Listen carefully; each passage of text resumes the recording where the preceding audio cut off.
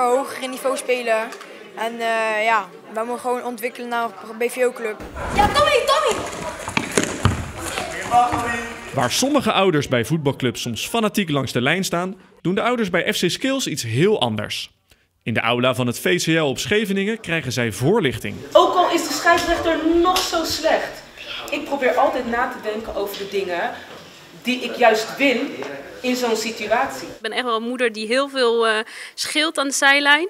Uh, de club heeft ons aan het begin al uh, laten weten van doe dat alsjeblieft niet. De trainers zijn ervoor. en ze halen dat wel meerdere keren en ik merk wel aan mezelf dat dat steeds minder wordt. Ja. En nu weer na zo'n dag hoop ik de komende tijd me heel erg in te houden. Um, ouders zijn integraal onderdeel van de ontwikkeling van een kind. Je kunt dit niet zonder de ouders. Ik kan wel vertellen aan, uh, aan uh, Myron dat hij, uh, dat hij eerder naar bed moet en beter moet eten. Maar als ik de ouder niet leer wat ze moet koken, dan wordt het een lastig verhaal of wat ze moet kopen. Wat heb je vanavond geleerd? Ja, gewoon van mijn voetdingen, hoe moet je slapen en zo. Hoe lang. Dus ja. rust pakken. En hoe lang ga je nu slapen? veel, veel meer. Ja? ja. FC Skills was eerst alleen een voetbalschool. Sinds augustus is het een echte voetbalclub geworden.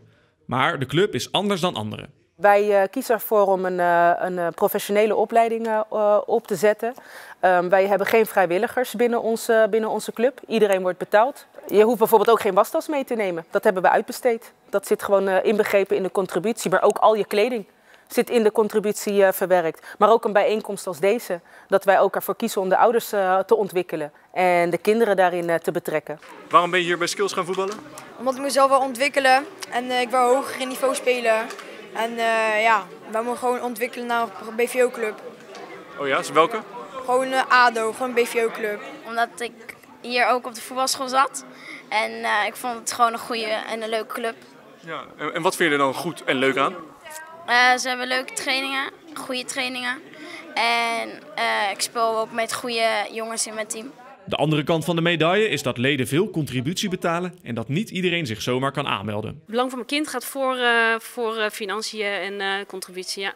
Uiteindelijk draait het om het voetbal en loopt er genoeg talent rond bij de club. We hebben op dit moment al elf spelers die uh, stage lopen bij, uh, bij een betaald voetbalorganisatie. En volgens mij zitten er nog uh, vijf à zes die echt in een, in een team terechtgekomen zijn van de KNVB.